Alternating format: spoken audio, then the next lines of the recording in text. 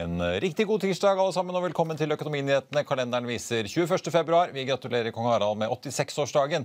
Og for å sette i gang i dagens sending så hører du fra jernbaneselskapet NRC Group, som er i full gang med å snu skuta i Sverige, får vi si. Der man altså går med store tap og også har tatt nedskrivninger i regnskapet. Vi ser også nærmere på hvor veien kan gå videre for Otovo etter det vi vel kan kalle en katastrofedag i går. Og ikke minst, vi får besøk av både sjefen og den nye aksjesjefen i Folketrygdfondet. Men først la oss titte litt på markedet. Wall Street var jo stengt i går da på President's Day, men i dag skal ting være i gang igjen om en snau times tid. Wall Street Futures peker mot en ganske sur eh, nedgang. Forrige uke så, så vi jo at eh, alle de to, eller de to store indeksene var i minus, da unntatt eh, Nasdaq. Her i Europa i dag så er det stort sett rødt, men det ser noe bedre ut på enkelte av de nordiske indeksene, med unntak da av Stockholm Oslo Børs, som ikke er med på oppgangen. Hovedindeksen her hjemme er ned nesten en halv prosent etter oppgangen på omtrent det samme da i går. Vi får ingen drahjelp fra oljeprisen her hjemme i dag. Nordsjøoljen ned en drøy halv prosent til 83,20 i spotmarkedet nå. Den amerikanske lettoljen ned en halv prosent da til 77 dollar fatet. Og apropos oljeprisen, PGS ligger på hva får vi si, palleplass på omsetningslistene i dag, rett bak Equinor og Aker BP, som begge er ned rundt 1% Fearnley Securities tror PGS kan refinansiere gjelden sin uten å gjøre en stor utvannende emisjon. Samtidig spår de aksjen opp over 50% i en ny analyse. Aksjen stiger ca. 3% til drøye 10 kroningen. La oss også ta noen av nyhetene som preger dagen i dag. og La oss begynne med sjømat. Sjømatindeksen ned 2,5% i dag og får da lite drahjelp får vi si, av to av de store. Lerøy ned over 6% og har vært ned over 8 på det meste etter kvartalsrapporten. Lerøy sliter med biologien og leverte langt svakere enn ventet da i fjerde kvartal. Det operasjonelle driftsresultatet falt fra da 902 til 800 millioner kroner i fjerde kvartal. Var ventet på 913, altså ganske mye svakere enn ventet. I rapporten så skriver Lerøy at resultatfallet skyldes både lavere da resultater innen villfangst pga. lavere fangstvolumer, samt lavere da marginen innen får vi si, høy, eller foredlede produkter, VAP som det kalles, enn i samme periode i fjor. Lerøy guider også ned slaktevolumet i år fra da de har jo tidligere guidet på 202 000 tonn i 2023. Nå sier de 193,5. Lerøy fastholder imidlertid sine mål for 2025, hvor da målet er å passere 50 milliarder i omsetning i Norge. Og så får vi, får vi ta med da at DME Markets tok jo faktisk ut Lerøy i går av sin ukesportefølje i frykt for dagens tallskip. Utbyttet ender på 2,50 for Lerøy. Det er det samme som i fjor. Litt bedre enn de 2,40 som var ventet. Verre går det også for Lerøy-eieren Austevoll, får vi ta med. Den aksjen er ned nesten 8 i dag. De er også ute med med sin kvartalsrapport. Før vi kjører videre, så vil jeg bare minne om at hvis ikke du rekker å se den sendingen, så kan du også høre den og søke opp Økonominyhetene på Spotify, Apple Podcast eller ved å gå inn på f1-podkast. Vi skal til dagens aksjetips, som handler om Otovo. Solselskapet hadde sin verste børsdag noensinne i går etter resultatvarsel om kutt i subsidieordningene i Italia for solcelleanlegg. Etter et fall på 17,8% så har aksjen tikket opp da snaue 4% så langt i dag. Aksjekommentator Karl Johan Målnes har jo ikke lagt skjul på sin skepsis til aksjen, men hva sier andre som følger med på selskapet? Bare se her. Otovo stupte 18% på børs i går. Er dette en kjøpsmulighet? Finansavisen har snakket med analytikerne og hørt hva de mener om saken. Solselskapet Otovo fikk i går merke italiensk vrede da politikerne endret på skattefritakene for grønne selskaper. Det får store konsekvenser for Otovo, som varsla markedet om at det her det kan bety kansellerte salg. Thomas Dowling Ness i Sparebank1 Markets han sier til Finansavisen at dette er kritisk for Otovo, som nå mister pipeline og salg i et av de to mest lønnsomme landene sine. Ness han lå inne med kjøp og kursmål på hele 48 kroner fram til slutten av januar, men nå har han endra holdning totalt. Kjøp det er erstatta med hold, og kursmålet det er tatt ned til 19 kroner. Så Betyr det her at Otovo er en kjøpsmulighet på kursen på 14 kroner i dag? Ness er forsiktig med å anbefale noe konkret, men han vil ikke si eh, noen ting om, om aksjen har falt nok. Det som er bra for Otovo-aksjen, er at de nå er i gang med å få opp salg i seks nye land, så de blir mer diversifisert. Det kjipe det er at det største og mest lønnsomme landet eh, er det som nå får slag i ansiktet. Carnegie og Fearnley er ute med nye analyser på selskapet i dag. Begge gjentar kjøp, men nedjusterer kursmålet til 22 og 20 kroner. Men det gir fortsatt nesten 50% oppside fra kursen i dag. Så kjøp eller ikke. Og vi må ta litt mer sjømat, for mens Lerøy altså holder utbyttet sitt stabilt, så skal det oppover fra færøyske Bakkafrost. Eh, fra da 5,14 danske kroner i fjor til 10 i år. Aksjen opp en 4 i dag Bakkafrost snakka mellom et operasjonelt driftsresultat på 376 millioner danske i fjerde kvartal. Det var noe lavere enn det analytikerne hadde ventet, men på linje med hva Fearnley lå under med av estimater i forkant. Bakkafrost for øvrig apropos biologi, som mange sliter med, de sliter med det i Skottland. Vi må også innom kartong og emballasje. Elopak ute med sin kvartalsrapport i dag. Firedoblet driftsresultatet, men varsler også at de ser et inflasjonspress jevnt over på innsatsfaktorene sine, som vil påvirke marginene marginene fremover i tid. Elopak øker sitt utbytte fra 75 øre-aksjen til 86, og Elopak har hatt en ganske god utvikling, ligger nå opp 3,5 Til slutt så er det riggselskapet Noram Drilling ned en snau halv prosent i dag. Bedre resultater fra selskapet til Jon Fredriksen, som altså driver med rigger på land i Permian i Texas i USA. Riggflåten hadde en utnyttelsesgrad på 99,3% i kvartalet, så hektisk eh, på skiffer-, olje- og gassfronten i USA altså. Snittratene steg for øvrig 11% fra da tredje til fjerde kvartal og ligger nå og snuser på drøye nesten 29 000 dollar eh, dagen. Fra Sol og Rigg skal vi til tog og infrastruktur. NRC er ute med tallene sine i dag. Aksjen har ligget ned en 2-4% Selskapet kom jo den 2. februar med et resultatvarsel hvor de altså eh, annonserte en strategisk gjennomgang av den svenske virksomheten sin, og at man skulle ta et tap der på 370 millioner kroner. I tillegg til at konsernsjef og finansdirektør altså selv gikk operativt inn som da henholdsvis da daglig leder og finansansvarlig i den svenske virksomheten for å snu ting rundt. Det er jo da byggevirksomheten utenom jernbanedelen som går med tap, og kollega Kåre Martin Granerud har tatt en prat med NRC-sjef Henning Olsen. Bare se her. 2022 oppsummerer vi med sterk vekst i inntektene. Vi har vokst inntektssiden vår med 18% sammenlignet med 2021, og tilsvarende tall for fjerde kvartal er 22% vekst. Så en sterk vekst i inntektene.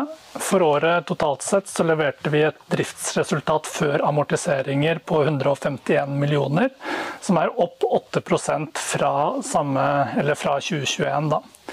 I Q4 så leverte vi et eh, driftsresultat før amortiseringer med 31 millioner. Det er ned fra 50 millioner i fjor, grunnet eh, tap vi har hatt i prosjektporteføljen vår knyttet til anlegg i Sverige. Mm. Dere er i både Sverige, Norge og Finland. Hva kan du si om de forskjellige landene og utviklingen der? Vi har en, en, sterk utvikling i Norge. Vi leverer både økt omsetning og forbedrede driftsmarginer i den norske virksomheten. I Finland så fortsetter vi å levere veldig solid eh, lønnsomhetsmessig. Og i Sverige så leverer vi dessverre fortsatt for svake resultater. Mm. Det var en stor nedskriving i Sverige, og snakker med en strategisk gjennomgang av virksomheten. Hva kan du si om både nedskrivingen og gjennomgangen? Ja, Vi har gjort en goodwill-nedskrivning i Sverige i fjerde kvartal. og Det har noe med eh, de svake resultatene vi har hatt over tid, hvor vi har funnet det riktig å skrive ned verdien av oppkjøpene som ble gjort i perioden 2015 til 2018 i den svenske virksomheten. Og så er jo vår hovedprioritet nå det er å forbedre lønnsomheten i Sverige. Da gjør vi mange ulike tiltak for å lykkes med det, men et av det er at vi gjør en strategisk gjennomgang av anleggsvirksomheten vår. Den er en begrenset del av aktiviteten vår i Sverige.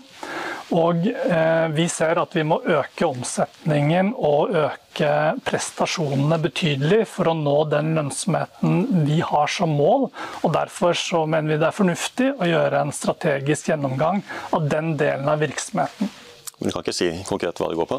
Det kommer vi tilbake til når eh, prosessen er konkludert. Litt fra investors synspunkt, aksjen er ned 34 siste året.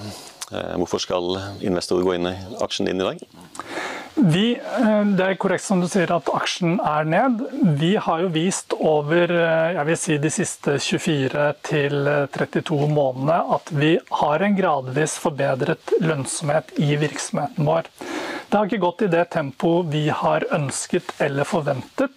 Men vi forventer jo at denne positive utviklingen vi har sett over de siste to årene, skal fortsette videre fremover. Og lykkes vi med det, så tror vi også aksjonærene vil få et, en god avkastning fra, fra dagens nivå. Da skal vi ta inn dagens gjester. Den ene har vel strengt tatt ansatt den andre, men uansett, de passer i hvert fall på en enorm pengebinge på over 300 milliarder for oss alle sammen, og er samtidig en gigant i det nordiske da, og særlig norske aksjemarkedet. Velkommen, administrerende direktør i Folketrygdfondet, Kjetil Haug. Og får vi si eh, nyansatt, men ikke nyansatt i Folketrygdfondet, aksjesjef da i Folketrygdfondet, Carl Mathisen. Takk skal du ha. Og gratulerer med ny jobb. Takk skal du ha igjen føles det litt altså Veldig mange i bransjen kjenner jo Nils Bastiansen, mm. som nå har gått av med pensjon etter lang og tro tjeneste, får vi vel kalle det. Er det litt sånn uh, spøkefullt sagt som å hoppe etter Wirkola, eller? Tja, vet ikke. Hvis du, men skal du hoppe langt, da, så må du kanskje ha en god rygg å hoppe etter. Ja. Det, er, det har, jeg, har, jeg, der, da. Men føler du når du... hoppe langt ned i bakken. Ja. Så er jeg, er jo ikke aleine. Men føler du litt på ansvaret når du vet hvor mange milliarder dere sitter og forvalter? Ja. og hvor stor dere er? Det er jo et ansvar, og du kjenner jo på det. og er jo sånn ydmyk for den rollen og det ansvaret han har. altså. Det er jo stor portefølje. Den er jo på nesten 200 milliarder aksjebiten, og hele ja. fondet er jo 300 milliarder. Vi skal komme tilbake til 60-40-splitten, men uh, først litt om uh, deg. For du har jo jobbet litt i Folketrygdfondet før, men også bakgrunn fra oljefondet? Stemmer. Jeg var ti år i oljefondet. Uh, forvalter da både i New York og London og fikk prøve det. Så litt bakgrunn har man jo fra forvaltning før man gikk i Folketrygdfondet også. Hva er liksom forskjellen og likhetene mellom de to, med unntak selvfølgelig det geografiske mandatet er jo veldig forskjellig for dere mm. to, ESPN og SPU. Men eh, er det noe likhetstrekk? Eh, mye er likt, men det som kanskje er mest forskjellig, er jo kanskje at NB var en veldig ung organisasjon. da. Eh, når jeg begynte her, så var jo den bare vært seks-syv år gammel, og det merket man jo også på de ansatte, at det var mye yngre folk som kom inn og skulle etablere seg som, som forvaltere. da. Mens i Folketrygdfondet har man jo lengre historikk og, og helt annen man skal si, lengre kultur da, som, er, eh, som preger systemet. Kjetil, Hva var det dere var på jakt etter da når dere skulle erstatte Bastiansen? Du, Vi startet bredt og så etter den absolutt beste kandidaten som vi kunne tenke oss å ha til å lede aksjeteamet vårt. Og bra for oss at vi fant den kandidaten internt. Eh, Carl representerer en litt ny generasjon hos oss.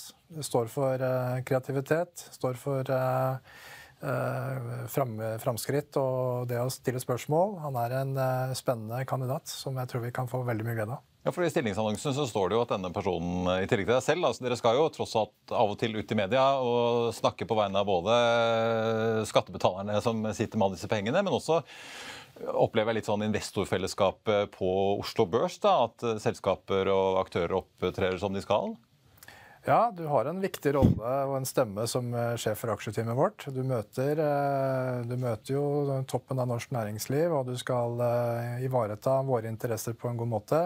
Vi er jo som per definisjon alltid minoritetsaksjonær. Så det er veldig naturlig for oss å ha godt samarbeid med andre aksjonærer i de selskapene hvor vi har investert. Hovedeiere og også andre minoritetseiere. Så det er en veldig viktig del av jobben å holde den kontakten i gang og sørge for at ting blir bra. Eh, god governance det er vi opptatt av i Folketrygdfondet. Vi har jo diskutert eh, alle disse børsnoteringene som var på Ionix Growth, hvor dere var ganske åpne på at dere syns det gikk litt fort i svingene eh, tidvis. Ja, det gikk fort. Hvordan opplever dere som markedssituasjonen nå? Det har vært store kursutslag det siste året, men det har jo roet seg veldig på transaksjonsfronten? Ja, det, dette går jo litt i sykler. Og så har vi hatt et tøft år bak oss med mye uro, renteoppgang, mye som har skjedd. Så mange har vel kanskje holdt litt igjen på kapitalinnhenting. Men det har skjedd litt, og vi er konstruktive, vi, og, og er med på det som skal være med på. Så vi er med. Skal dere være med på Sikkerhetspetroleum? Nei, Jeg pleier ikke å kommentere akkurat hva vi ser på for øyeblikket, men at vi kanskje har spurt eller har mulighet til å se på det, er i hvert fall åpenbart. Mm. Jeg måtte jo nesten uh, spørre. Men uh, hva vil du med denne jobben, da, Karl? Litt apropos det vi snakket om. En ting er jo selvfølgelig, jeg antar du ønsker mest mulig avkastning, uh, med rimelig risiko på aksjene mm. som dere forvalter. Eh, men har du gjort deg noen tanker selv om hvilken rolle du ønsker å innta? Ja, jeg tenker jo egentlig at Vi skal gjøre mer av det samme. Det er kjedelige svaret, men det kan også ta spørsmålet enda mer tilbake til et mer fundamentalt nivå. da. Og det er at vi, skal, vi er jo store eiere på disse selskapene.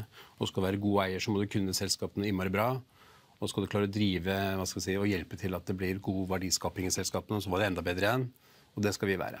Og Det betyr jo liksom at du må kunne gjøre ting fornuftig, du må ha gode prosesser og jobbe smart. Og være smart på hva du jobber med i tillegg så må du på en måte tørre å gjøre ting som kanskje ikke alle andre gjør. Da skal du ha mer avkastning. Og Det er sånn, eh, noe du må utvikle over tid. Da. Det har vi mye av. Vi kan gjøre enda mer av det. og Det betyr liksom at du må kunne tørre å være flink, du må tørre å ta feil, og du må tørre å se ut som du tar feil, helt til du har rett. Og det er eh, noe vi må jobbe med. Men kom, ja. Men nå skjønner jeg at dere ikke ønsker å si akkurat om sikkerhetspetroleum, men, men altså sånn, kommer dere til å, å eller hvilken, Hva ser du for deg? Kommer du til å, hvis det er transaksjoner dere blir forespeilet, eller ting dere ser, ser skje i selskaper dere sitter investert i, kommer du til å stå der og stille opp her eller hos konkurrenter av oss og faktisk si at dette syns vi faktisk ikke er akseptabelt, eller her bør selskapet skjerpe seg, eller Nei, vi har jo en, vi har en veldig god relasjon med selskapene, og det ønsker vi å beholde.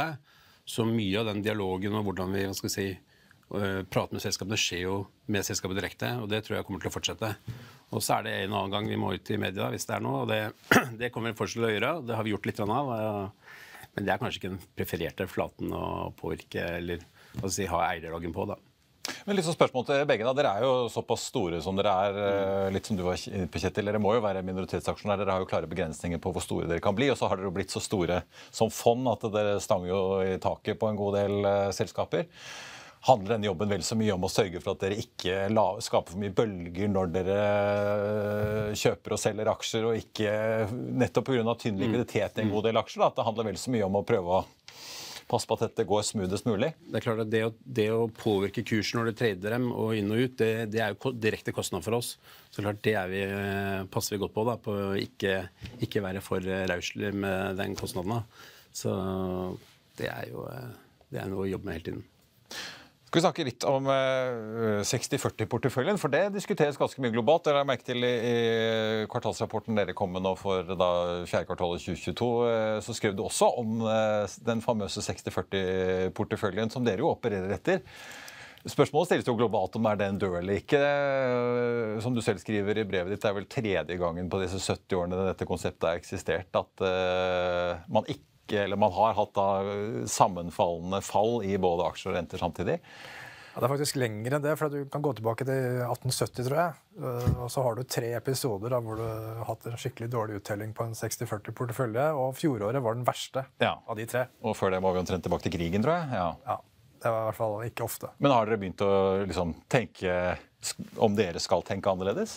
Nei, eh, vi har ikke det. og eh, er det Finansdepartementet som fastsetter denne 60-40-porteføljen. Altså, det er de som må svare på det, egentlig. Men, Men du har jo telefonnummeret til Finansråden hvis du har noen innspill på at det kanskje er på tide å tenke nytt. Ja, og Vi har ikke kommet med et sånt råd, og det kommer vi ikke til å gjøre heller. Jeg tror det egentlig er en veldig bra måte å tenke på fortsatt. Det var, 2022 var veldig spesielt. Vi hadde en kraftig oppgang i rentene og store tap i obligasjonsporteføljen.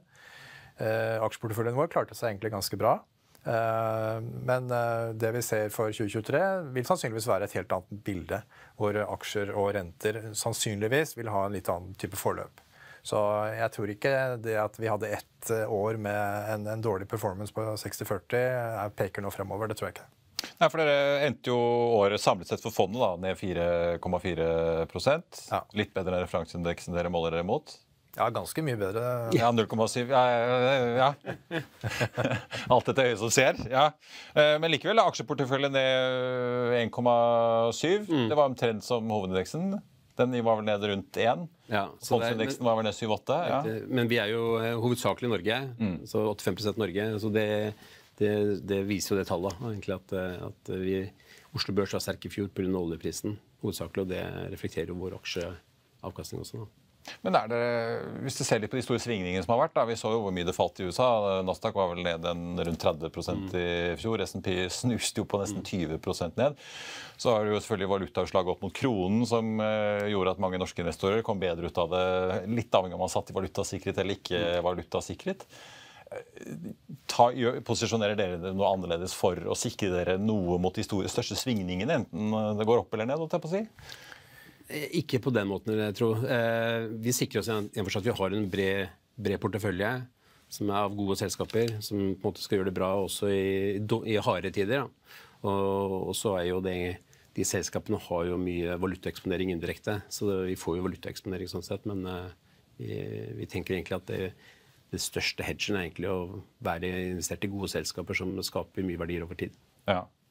Men det er jo øh, samlet, altså En ting var at det var både rente- og aksjefall, men har dere sett så store svingninger?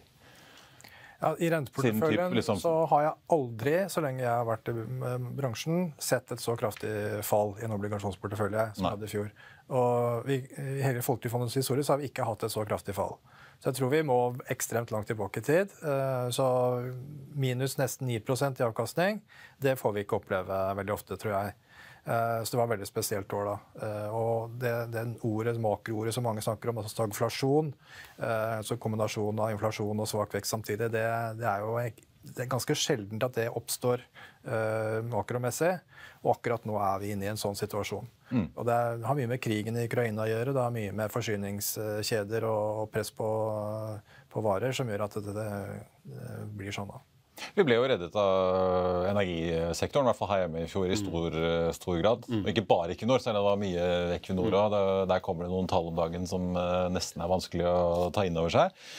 Eh, men hva tenker dere om året i år, da? Fordi at på en måte, ja, Vi har jo Gerhard Rystad løper rundt og sier at det er kanskje oljeprisen skal ned. Folk må passe seg litt på. Samtidig ser vi jo at det ser jo ikke ut til at energikrisen i Europa er over med det, i hvert fall i år. Eh, gitt at man ikke får inn noe russisk gass. Mm. Men det blir jo fort sånn at fondets eh, resultater vil jo bli påvirket hvis man vekter seg litt feil her. Det er klart, og det, det ser vi kanskje spesielt i år, da, at det er større utslag på enkeltaksjene. Og Det er litt sånn resultat av hvor kursene kommer fra i fjor også. Du har energiprisene som er høye. Det betyr at skuffelser på selskapsnivå i energisektoren eller fall oljepris vil jo slå veldig ut. Og det er mange selskaper som også gjorde det dårlig i fjor. Så hvis de leverer marginalt bedre, spretter mye opp. Og det, det blir vel eh, noe av bildet for 2023. Kjetil, du skrev jo i jeg vet ikke om man kan kalle aksjonærbrevet, men i hvert fall brevet til eh, oss eh, fondseiere, hvis man kan kalle det Horisonten brenner, men kanskje det er soloppgang der ute. Er du litt sånn i tvil om hvordan 2023 blir selv, eller? Ja, er veldig, altså jeg er veldig ydmyk. Det var litt poetisk. Ja, det er litt poetisk, eh, men jeg er veldig ydmyk, og jeg vet at vi kan ikke vite helt hvordan det blir. Eh, men eh, altså, nå har vi hatt denne kraftige oppgangen i renter. Og det har påvirket verdsetting og fått volatile markeder. Så det er klart at mye ligger jo inne nå i, i markedet i forhold til at vi tåler nok en, en viss grad av negative nyheter. Men om vi får uh, ny fart opp på inflasjon, ny renteoppgang og ny euro, så er det klart at uh, det er det ingen som står imot. Så vi må være ydmyke for det. Men uh, vi skal være konstruktive. Vi skal ha en portefølje som tåler de ulike scenarioene vi går inn i, og vi skal være forberedt på det som måtte komme av makrobegivenheter. Og nå ligger dere på en, det var drøye 300 milliarder ved utgangen av året. Ja. Det er jo en evig diskusjon hva som skal skje med dere. da. Kan det bli noen endringer i år? Det er jo selvfølgelig da Finansdepartementet og politikerne som bestemmer dette. Men det har vel vært diskutert om man kanskje skal ta ut bare over, altså overskuddslikviditeten som hele tiden kommer inn i form av utbytter og sånn? Ja, altså, Vi skrev et brev i 2019 uh, eh, hvor vi adresserte akkurat det poenget. Og etter 2019 så har vi sett at uh, det har kommet noen flere selskaper på børs uh, med litt betydelig størrelse. så har vi også solgt aksjer i flere runder etter 2019. Så eierandelene våre har vel holdt seg sånn relativt stabilt, kanskje gått til og med litt ned fra 2019. Men tematikken er den samme. Vi reinvesterer jo alle utbyttene vi får inn, og det er ingen andre ting som går ut av fondet. Så over tid så vil våre eiendeler gradvis vokse. Eh, og Hvis det skulle komme et kraftig korreksjon i markedet, og vi skulle begynne å kjøpe aksjer med, i stort monn, så vil det gå selvfølgelig mye raskere. Mm. Så er, Tematikken er der. Så jeg tenker at det, er, det, brevet vi skrev i 2019 er fortsatt like aktuelt, og vi forventer jo at uh, departementet kommer med en løsning på det uh, før eller siden. Og jeg tror at uh, Nå kommer det en fondsmelding til Stortinget nå i slutten av mars, så får vi se hva som står der. Ja. Ja, for På aksjesiden bare til slutt, da, er det, det er 15% Norden mm. du kan sitte i? Vi kan sitte i mer, men det er på en måte det som er det hva skal jeg si, referanseindeksen. Ja. Men hvor mye hjelper det deg? Vi, kan jo, vi har et avvik fra referanseindeksen også, som er eh, satt. da. Mm. Eh, vi er jo ikke på den rammen enda, så det er jo mulig å, innenfor risikomandatet å øke den andelen for eh, Kjetil Haug og eh, nyansatt av aksjesjef i Folketrygdfondet, Karl Mathisen. Tusen takk eh, for at dere kom begge to. Lykke til i ny jobb. Og så skal vi følge spent med hvor mye du sier fra når ting rører seg litt på Oslo Børs. Vi er straks tilbake rett etter dette. For å skjønne god vin, så må du drikke mye dårlig vin. Det er så jævla godt. Og så er det det når du vasker glass også, at du bruker konstant samme vanntemperatur. Og jeg kan nesten ikke se han fra her jeg sitter. Lagrer store flasker bedre enn små flasker. Feile? Ja, det hører til. Det er derfor vi blir bedre. Perfeksjon, det er uh, egentlig uh, noe som er umulig. Helt på tappet av sendingen tenkte jeg bare å titte litt på kursutviklingen på Oslo Børs akkurat nå. Hovedindeksen ned en halv prosent, da med NRC som har kommet med tall i dag, ned 3% Lerøy ser ut til å bli en av de store taperne med et fall på over 6% og storaksjonær Austevoll ligger også litt bak, ned 6,7% akkurat nå. Så har vi da Bakkafrost som også er ute. Metall og Elopak de gjør det langt bedre. Bakkafrost opp 4,3 og Elopak 3,7 Noram Drilling ser foreløpig ut til å ligge og vake rundt nullpunktet. Og så var det jo da Otovo som vi snakket om mye i går etter resultatvarselet, hvor de altså falt nesten 20 I dag er den opp da 1,4% Nå har mistet litt av den oppdriften vi så tidligere. I Finansavisen i morgen så kan du lese Trygve Egnars leder om et perverst lønnsoppgjør. Du kan lese om et kraftig hopp i stortankratene, om Arendalsbaserte Gard som forsikrer halvparten av den globale handelsflåten. Ikke så verst. Og det blir børsintervju med Petter Tusvik som har tro på sparebanker, og selvfølgelig mye mye mer om alle kvartalsresultatene som har kommet det siste døgnet. Det var det vi hadde for deg i dag. Husk at vi er tilbake igjen i morgen tidlig med Børsmorgen 08.55, og deretter med Økonominyhetene 14.30. Klokken 16.30 i dag så går etter planen altså da tegningsfristen for for emisjonen og børsnoteringen i forbindelse med børsnoteringen til Seacrest Petroleo ut. Mer om resultatene derfra og siste nytte får du som alltid på fa.no. Mitt navn er Marius Lorentzen. Takk for at du så eller hørte på, og så håper jeg vi ses igjen i morgen.